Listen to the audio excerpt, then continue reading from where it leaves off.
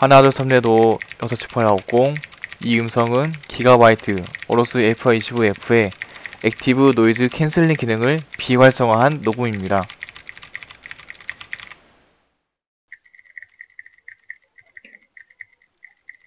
하나 둘 3레도 67890 이 음성은 기가바이트 어로스 FI25F의 active noise canceling 기능을 활성화한 녹음입니다.